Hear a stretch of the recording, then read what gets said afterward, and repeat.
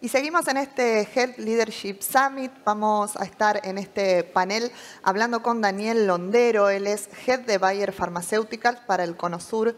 Daniel, gracias por estar. No, gracias a ustedes por la invitación, por supuesto. Bueno, estuvimos escuchando de todo durante este summit hasta ahora y queríamos hablar un poco con vos sobre innovación, sobre desarrollo, sobre todos estos temas donde la Argentina se hace fuerte y ustedes como compañía imagino que son parte de este proceso y también tienen algunas proyecciones, ¿no? ¿Cómo estás viendo la situación hoy en cuanto a la investigación y el desarrollo y qué perspectivas le ves a la Argentina si tiene posibilidades de destacarse en la región, en el mundo, como para ser un, hub verdadero, ¿no? Eh, de investigación, seguro. Sí, de investigación. Eh, creo que tiene unas eh, posibilidades impresionantes. Eh, Sabes que la investigación clínica es un motor de crecimiento de los más importantes en la investigación y desarrollo. A nivel global, el 22% de la inversión total de investigación y desarrollo es investigación clínica. Supera, eh, solamente superada por la industria automotriz, para ponerlo en contexto. En Argentina ese porcentaje es el 44%, o sea, de toda la investigación y desarrollo que hoy se hace en el país, el 44% de las inversiones vienen de la, investigación clínica. Así que eso te da una pauta de que estamos, estamos muy bien. Es promisorio eh, porque también hemos, estamos aumentando. Cuando uno mira los estudios clínicos que se hacen en el país, el año pasado fue un año récord con más de 220 eh, proyectos de investigación presentados en la autoridad regulatoria, que es el ANMAT. Eh, más de 40 mil millones de pesos de inversión, así que eh, creciendo. Pero, siempre hay un pero, y acá este pero lo transforma en una oportunidad.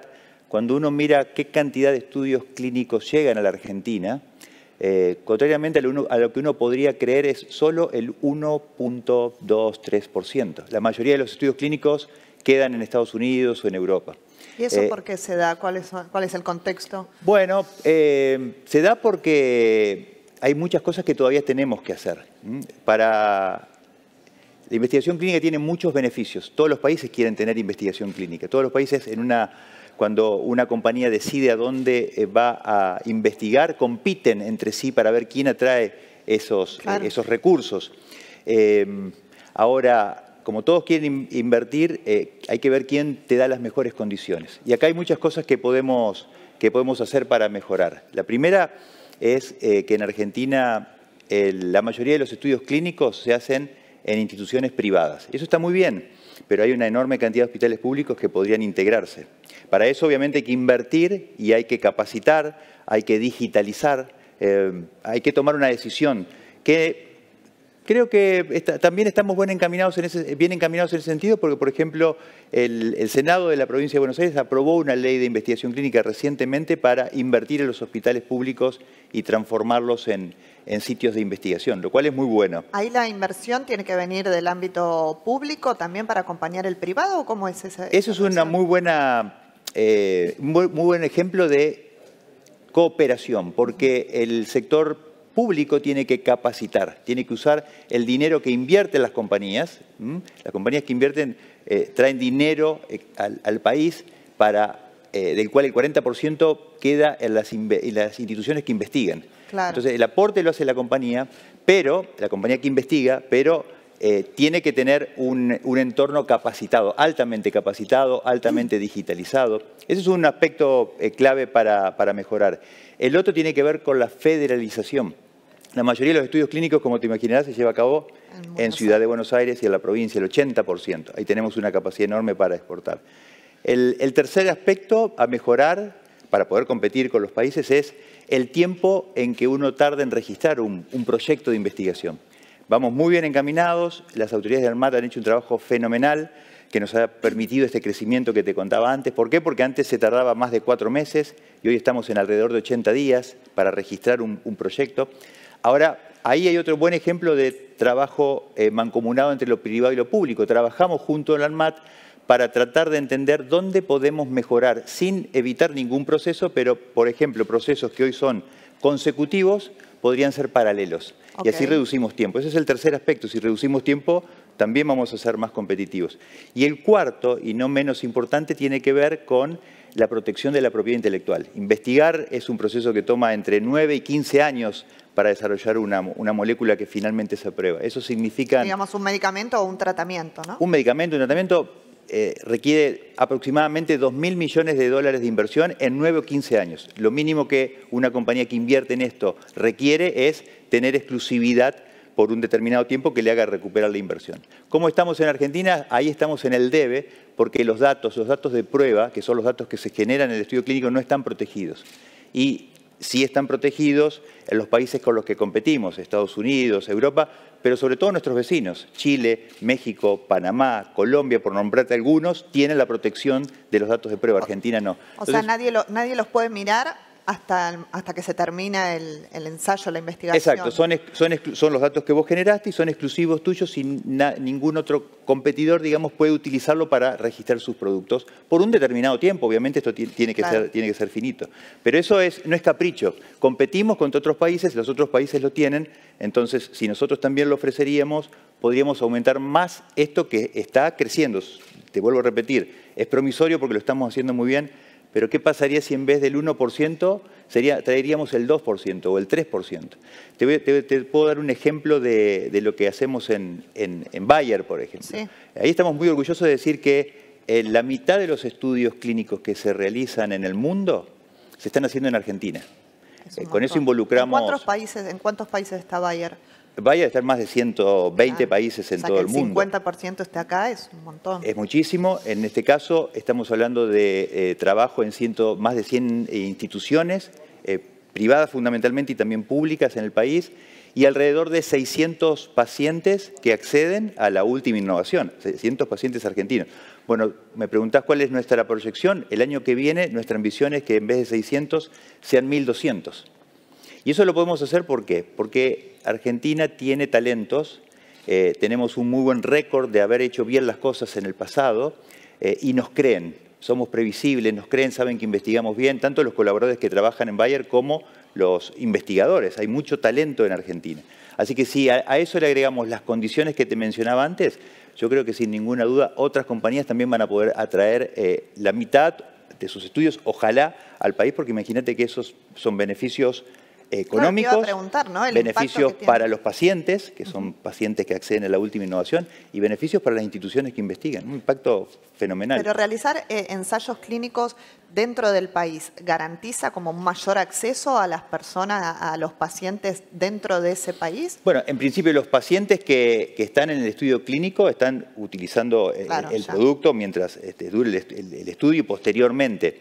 Eh, y lo que te garantiza desarrollar el estudio clínico en el país es que también eh, las personas que están eh, investigando están adquiriendo experiencia con ese producto.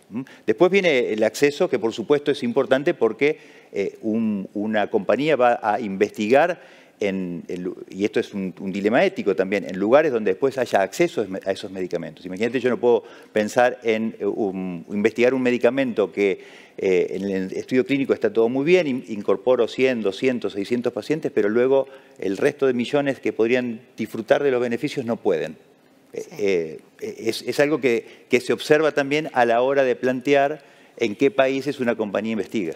¿Puede mejorar eh, el contexto? Vos decías, ¿no? Parecería que las condiciones que mencionás, sí, pero eh, ¿puede mencionar como para sostener esta proyección que ustedes están haciendo de duplicarlos? En, sí, el, contexto local, decir, sí, sí, sí, seguramente. Eh, y creo que hay, en esto ganamos todos, y eso lo entienden las personas que trabajan en el sector privado como en el sector público. Entonces, creo que cuanto más juntos trabajemos para hacernos más competitivos, más estudios clínicos vamos a poder traer, más divisas van a ingresar al país, más pacientes van a ser tratados y más investigadores van a poder hacer lo que realmente les gusta.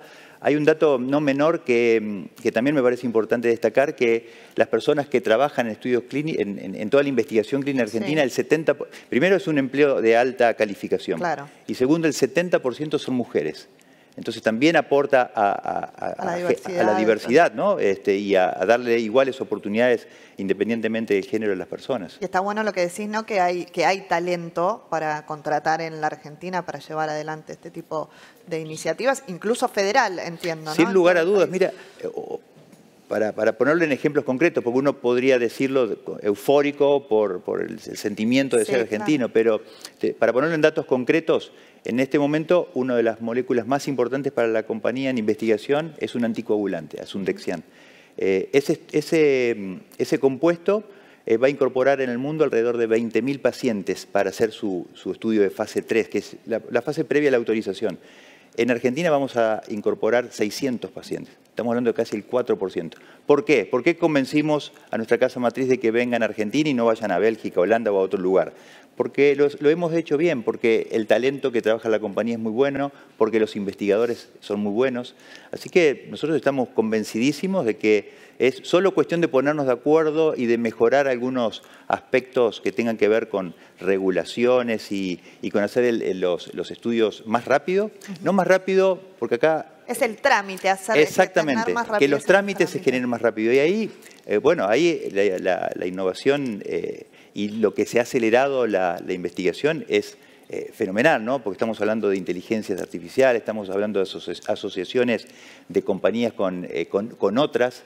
Eh, con universidades. Eh, la innovación se está acelerando, no podemos quedar afuera de ese tren. ¿no? Te iba a preguntar eso también, porque hablamos de todo lo que tenemos, pero también hay una pata tecnológica, ¿no? Un poco digital y tecnológica fuerte. ¿Cómo estamos en nuestro país eh, en ese sentido?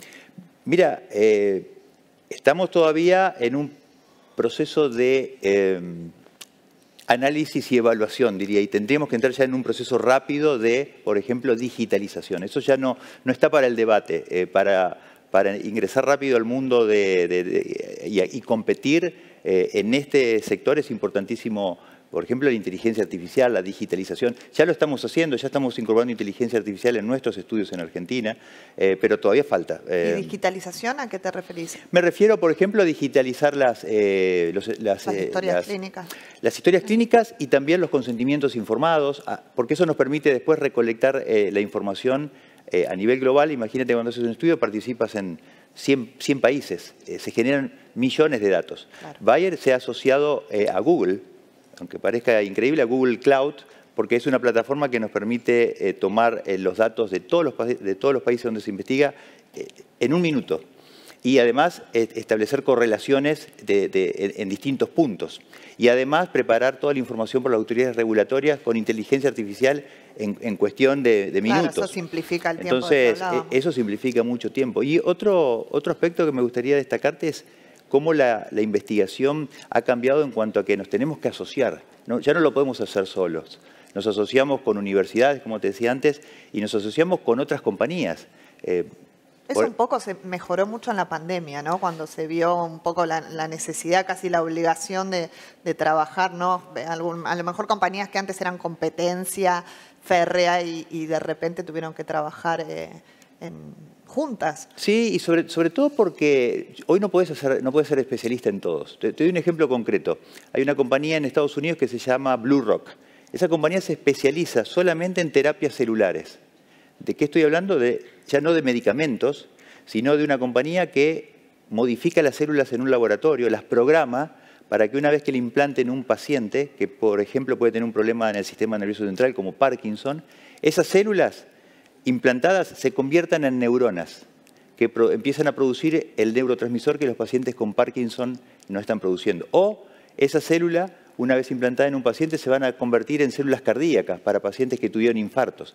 Esa es, eso es lo que se está investigando ahora y se investiga gracias a estas asociaciones que lo hacen posible, porque ahí necesitamos a las mentes más maravillosas de la, biotecnología en ese, en ese sector. Y lo hicimos y gracias a eso tenemos un par de productos ya avanzando a la fase 2 para tratar, por ejemplo, Parkinson, pero no para tratar, sino para curar. Lo que se persigue aquí es curar las patologías, no tratar.